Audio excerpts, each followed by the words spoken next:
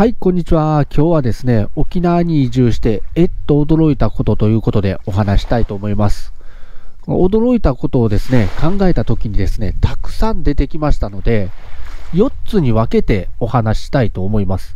生活編、居酒屋飲食編、お金編、不動産物件編ということでですね、動画も4つに分けてお話ししますので、沖縄移住を考えている方の参考になればと思います。また、うちなんちゅの方は、こんなことでナイチャーはえっと驚くんだと思って聞いていただければと思います。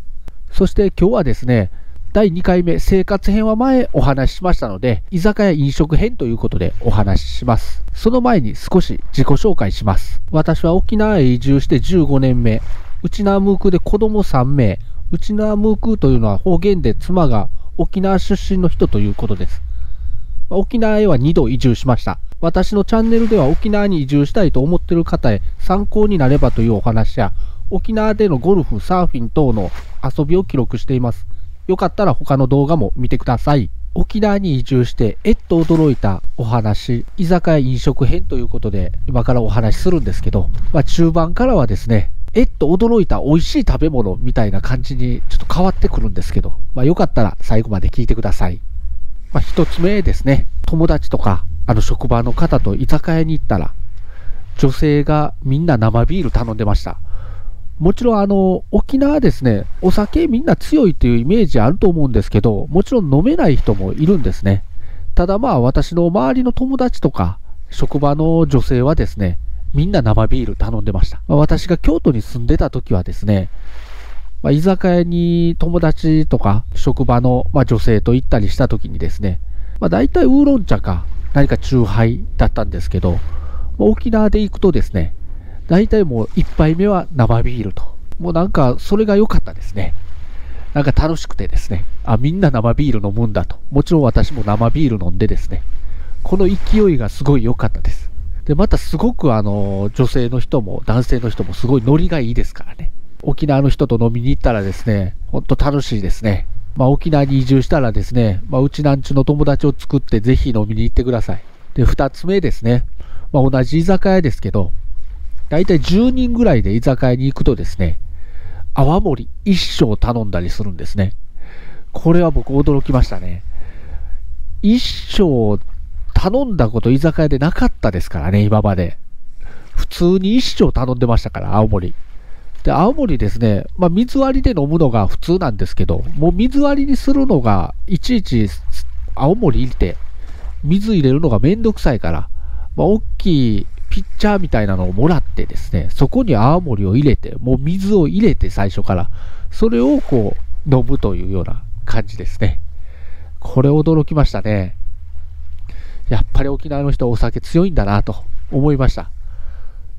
で、これはもう余談ですけどね、私ももう沖縄に15年も住んでるとですね、まあ、お酒ほんと強くなりましたね。飲む機会が多いからですかね、もうすごく強くなりました。それであの、京都にいた時はですね、記憶なくすとかもなかったんですけどね、最近ちょっと記憶が飛び飛びになったりするんでですね、ちょっとこれ危ないなと思ってます。じゃあ3つ目ですね。居酒屋、まあ、なんていうんですかね。まあ僕ら、その友達と内地でね、居酒屋行った時には、まあ何時集合で、みたいな感じで行ってですね。まあ遅れてきたら、まあ7時から飲むとしてですね。まあ7時にいたもので飲み出すっていうのは普通で、遅れてきた人はもう後から飲むっていうのは普通なんですけど、沖縄の場合ですね、まあ、職場で居酒屋行くこと私は多かったんですけど、まあ先輩とかももちろん上司とかもいるんですけど、新年会とか、忘年会とか、まあ、送別会とかいろいろあると思うんですけど、飲む理由ですね。着いた人から飲んでいきますからね。もう仕事が終わって、えー、居酒屋に着いて、着いた人から飲んでいく。別に上司待ってから飲まないです。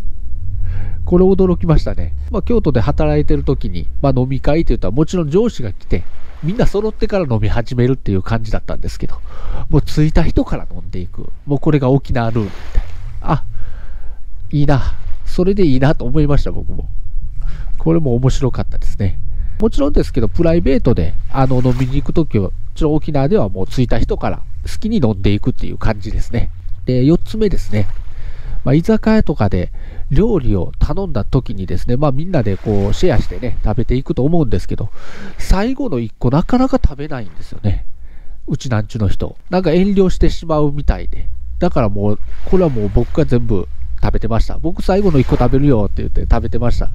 なかなか食べないんでですね、これ面白いなと思いましたね。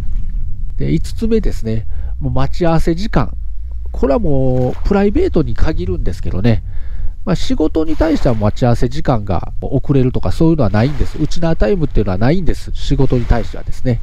プライベートに対してはですね、まあ、7時に飲みに行くって言って、じゃあ7時集合、どこどこの居酒屋でと。7時に行ったらね、ほとんど誰もいませんね。まあ、ナイチャーの僕としてはですね、もう7時ちょうどに行くか、ちょっと前ぐらいに行くイメージでずっと行ってたんですけど、最初はですね。でも7時に行ってもいないんで、もう今はですね、えー、30分遅れぐらいで行くようにしてますね。もう大体7時待ち合わせでみんな揃ってくるの7時半ですからね。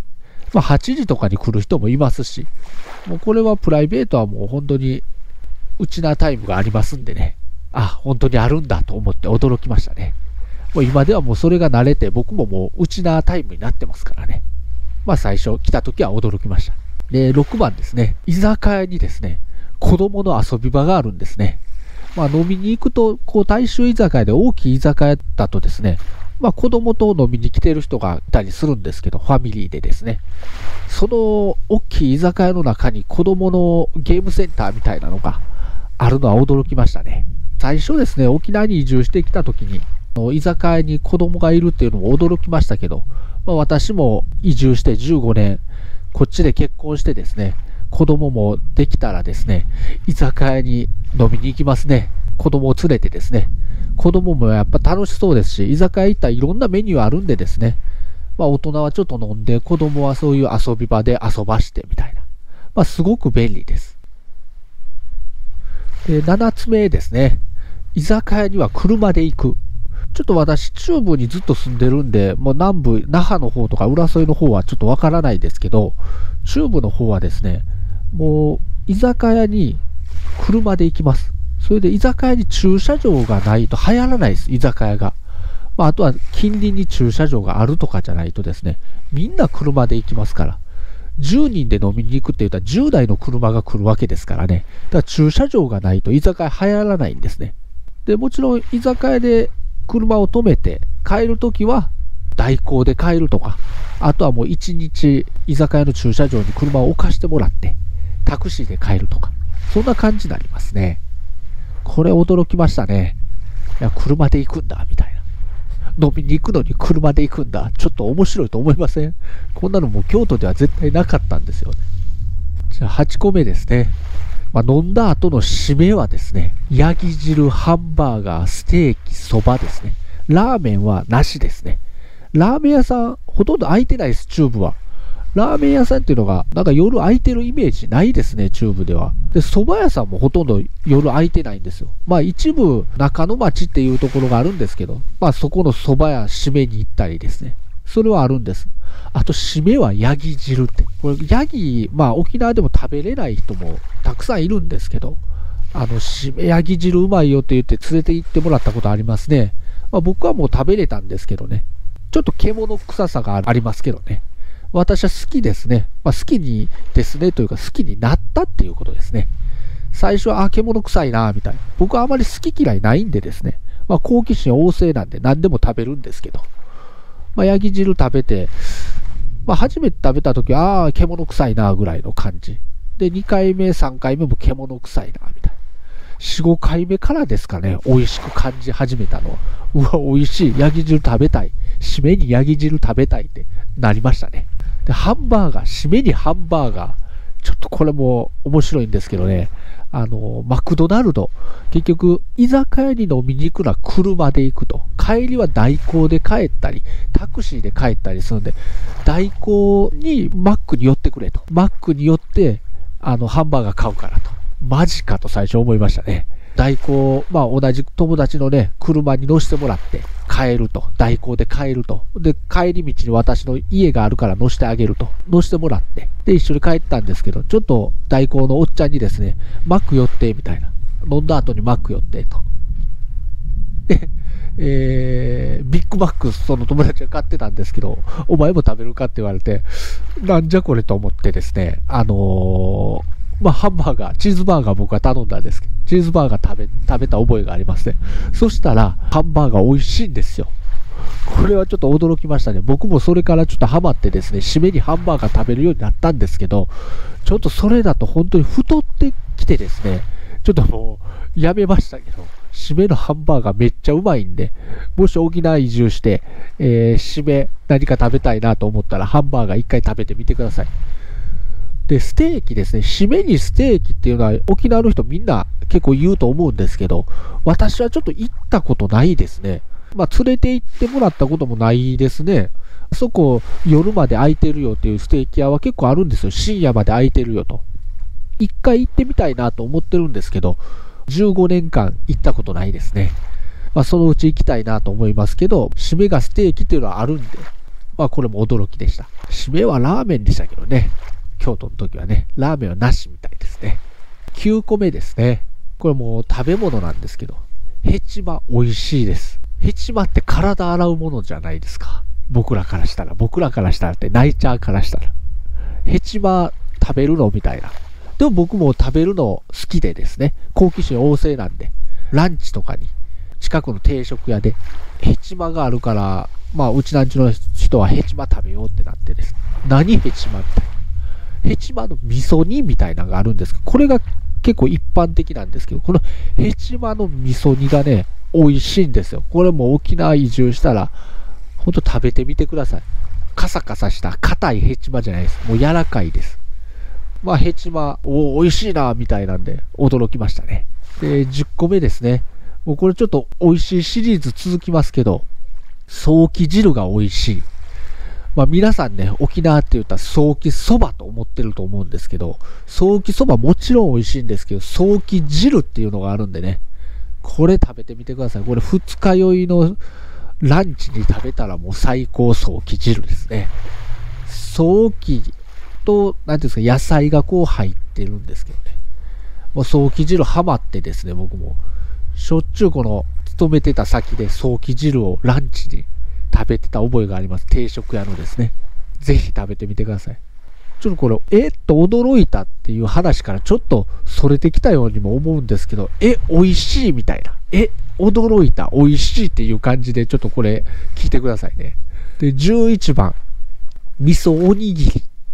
ポーク卵おにぎり、美味しい。これ美味しいんですよ。味噌おにぎりって、内地いた頃は食べたことなかったですけど、味噌とこうひき肉が入った、これも沖縄の定番のおにぎりなんですね。まあ、沖縄観光でですね、なかなか多分この味噌おにぎり食べるっていうことないですし、まあ、沖縄そばとかそういうのが有名だと思うんですけど、もう味噌おにぎりは沖縄の家庭の味ですから、これ、流行ると思いますけどね、もう観光で出したらですね、めっちゃ美味しいです。あと、ポーク卵おにぎり。これ美味しいですね。まあ、僕、友達ね、まあ、年に何回か、何人かですね、沖縄に遊びに来る子いますけど、ポークおにぎりほんま美味しいなって言いますね。沖縄のファミリーマート、まあ、沖縄のコンビニだけポーク卵おにぎり置いてるんですよ。なんで内地で販売しないかなって、この内地の友達が言ってましたけどね。ポーク卵おにぎり、これもなかなか観光ではね、食べることないと思うんですけど、沖縄に移住したらですね、ぜひ食べてみてくださいね。美味しいですから。これまだ美味しいシリーズ、美味しくて驚いたシリーズちょっと続きますけど、これちょっと題名変えた方がいいかもしれないですね。居酒屋飲食編じゃなくて美味しいシリーズでやった方が良かったかもしれない。これ。12個目ですね。沖縄の天ぷら。これ美味しいですね。沖縄の天ぷらですね。内地の天ぷらと違うんですね。こう、なんていうんですか、もちっとしてるんですね。内地の天ぷらはカラッとしてるじゃないですか。もちっとしてるというか、それがめちゃくちゃ美味しいんですね。で、天ぷら、天つゆで食べるんじゃないんですよ。ウスターソースで食べる。で、辛いの好きな人はウスターソースと七味で食べるんですね。これがうまいんですよ。この天ぷら、沖縄の天ぷら。これも沖縄観光ではね、なかなかピックアップされないですけどね。沖縄の天ぷら美味しいです。で、天ぷらはね、ご飯じゃないんですよ、うちなんちゅうからしたら。これはね、おやつですね。3時のおやつに天ぷらです。天ぷらはね、もう持ち帰りができるんでね、職場とかにですね、買ってきて1000円分とか、みんなでこう、広げて食べてた覚えありますね、おやつに。沖縄に移住したらですね、天ぷらおやつに食べてくださいよ。もう美味しいですからね。ウスターソースで必ず食べてくださいね。で、13個目ですね。タコライス。美味しい。タコライス美味しいですよ。沖縄観光でですね、タコライスっていうのは、やっぱり注目されてますけどね。僕、タコスも、まあ、京都で食べたことなかったんですけど、タコライスって何だと思ってですね。最初、まあ、食べ物に何回も言いますけど、興味ありますし、何ですか？もう食べるの好きですからね。タコライス美味しいですから、ぜひ食べてみてください。タコスももちろん美味しいです。で、このタコライスにかけるチリソースみたいなの、これもいっぱい食べてください。美味しいです。これ美味しいタコライス屋さんとかあるんですよね。やっぱ美味しい天ぷら屋さんとか、美味しい蕎麦屋さんとか。ちょっとそういうのも YouTube の動画で上げていきましょうかね。みんな見てくれるかな？もう美味しいですよ。沖縄のご飯美味しいですからね。え、驚いた。美味しいみたいな。こんなのがあるんだみたいな感じでちょっと今話してますけどね。で、次14個目ですけどね。蕎麦、沖縄蕎麦、美味しいです。でもこれはちょっと私の場合は違ってですね。沖縄そば美味しくなってくるんですね。なんていうんですかね、これ、なぜ驚いた話に入れたかというと、最初僕、沖縄そば食べた時ですね。いや、正直、まあ、うちなんちの人には申し訳ないんですけど、あんまりだった。僕、京都に住んでたんで、うどん派だったんです。うどんが美味しいと。で、沖縄そばって、まあ、ね、内地の人からしたら、この、なんていうんですか、まあ、違うそばなんでね。まあでもみんな美味しいって言うから食べに行ったんですけど、なんかパサパサして美味しくなかったです、最初は。でもですね、沖縄そば、やっぱりね、今でこそラーメン屋とか、丸亀製麺とか、うどん屋さんとか、花丸うどんとかですね、できてきましたけど、僕が移住した15年前ってあんまりなかったんですよ。ラーメン屋も、うどん屋もですね。ですね、汁物です。そういう麺類食べたいって言ったら大体そばだったんです。だからもうそばをですね、やっぱりいろいろいろいろいろいろ食べていったんですね。そしたらですね、もうだんだんだんだん美味しくなってくる。蕎麦ってうまいなと。いつの間にかなってました。もう定番、昼のランチの、えー、定番蕎麦。もうこれ当たり前でしたね。で、今ではですね、まあ土日、絶対子供連れて蕎麦食べに行きますね。大体土日はね、休み、子供が休みの日の昼は、蕎麦。これはもう、うちなんちゅうの定番ですね。うちの妻も言ってました。土日は蕎麦やと。ランチは蕎麦やと。昼食は蕎麦やと言ってました。もう蕎麦はね、美味しいです。最初、まあ、県外の人でですね、まあ、美味しくないと感じてもですね、食べ続けてください。必ず美味しくなりますから。ただ、いろんな店行ってね、自分の好みの蕎麦が絶対出てくるんでね、必ず行ってくださいね。15番ですね。ゴーヤも美味しくなってきます。ゴーヤチャンプル、これまあ沖縄の定番ですよね。有名です。まあこれは食べないとと。僕も最初ね、沖縄移住した時食べました。うちなんちゅの皆さんすいません。あんまり美味しくなかったですよ。最初は。美味しくなかったです。でもね、やっぱり夏になったらね、ゴーヤチャンプル。沖縄のホットモットではゴーヤ弁当もあるぐらいですからね。うちなんじゃみんなゴーヤが好きなんですね。で、居酒屋行ってもゴーヤチャンプル食べますから、もう僕ももう食べるの何回も食べる回数が多くなっていったら、ゴーヤも美味しくなってくるんですよ。あれ、ゴーヤいつの間にか美味しくなってきた、みたいな驚きがありましたね。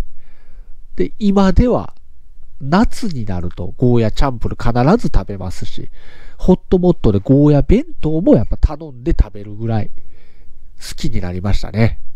ゴーヤ美味しいですから、最初美味しくないと思っても食べ続けたら美味しくなるんで、ナイチャーの人は食べ続けてください。今美味しくないと思ってる人はですね。で、沖縄移住したいと思ってる人も、もうゴーヤ美味しくないなと思っても食べ続けたらもう美味しいから。夏バテ防止やからね。もうゴーヤ食べてくださいね。ずっと美味しいシリーズ行きましたけど、これもう最後にですね、まあ美味しい、あ、最後じゃないか。今何個目行きました？ちょっといっぱいありすぎてわからなくなってきましたね。すいません。なんていうんですか、食べ物シリーズでですね、えー、定食屋？定食屋の量が多いです。これ驚きましたね。定食屋行って、うわ、めっちゃ量多いやんと。豆腐チャンプル頼んだら、ご飯2本昔話みたいなご飯出てきたりしますよ。本当にこれ。これ驚きますよ。で、量が多い定食屋は流行ってますからね。いやーみんな沖縄の男の人ですね。まあ女の人は別として男の人は本当よく食べるんだと思います。だから量が多いところが流行ると。これはもう沖縄行ってですね、まあ、定番の定食屋行くとですね、量多いから、まあ、女性の人は注意してください。男性の人も多いと思って頼んでくださいね。でこれ余談ですけど、沖縄そばっていうのは頼む時に大中小ってあるところと大と小としかないところがあるんですよ。そしたら迷わず、まあ、大中小でも大小でも迷わず大を頼んでくださいね。小っていうのはほんとちっちゃいし、中もなんか中途半端なんで、沖縄そばは大。絶対頼んでください。大が普通ですからね。これほんと余談ですね。この美味しいシリーズ、定食屋シリーズはちょっとこれで終わりで、もう一番最後にですね、お話したいのが、おばあが元気です。何ですかね、沖縄のですね、おじいよりおばあの方が僕は元気なのに驚いたんですけど、なぜかというと、僕の妻はですね、うちなんちゅで、まあ、こう入学祝いとかですね、何かお祝い事するときに、妻のお母さんのお母さん、おばあ呼ぶんですけど、元気なんですよね、本当に。ちょっとまあ、おじいがいないっていうのもあるんで、おばあの方が元気って私は思ってるかもしれないですけど、お祝い読んだらですね、おばあがコーラ飲みますからね。90歳ぐらいのおばあが。コーラの。うわ、沖縄だなと。ちょっと京都で90歳のおばあがコーラ飲むとこ見たことないですからね。コーラ飲むんやなと思って。で、ケンタッキー。やっぱり沖縄のね、お祝いの定番はケンタッキーですからね。おばあがケンタッキー食べますからね。うわ元気だなと思って、あ、いいなと思って見てますけどね。面白いですよね。これも驚きました。本当。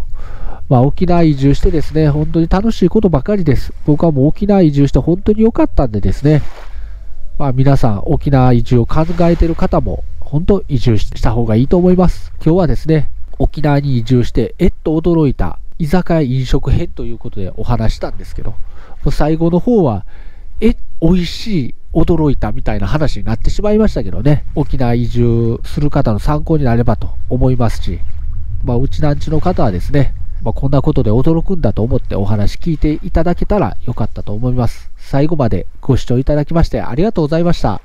よかったらチャンネル登録とグッドボタンお願いします。